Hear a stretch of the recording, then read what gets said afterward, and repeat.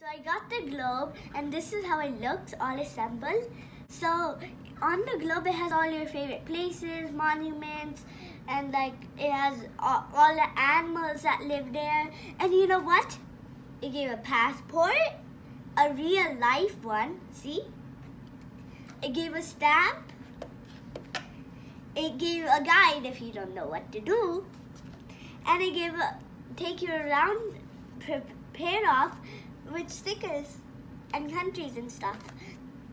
And you know what? This can, can this is a device that can that can connect to your phone or uh, iPad, and then you can play like you're going around in 4D. Largest deer.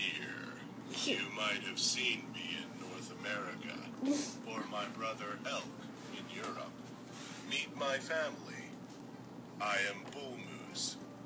My wife is known as the cow moose, and my baby is the calf moose. Tap on the light bulb icon to find out some cool facts. I am the tallest mammal in North America.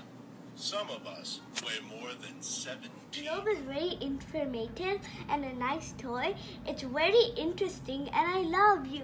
I love it. I think I'm gonna spend all my time discovering new places around here.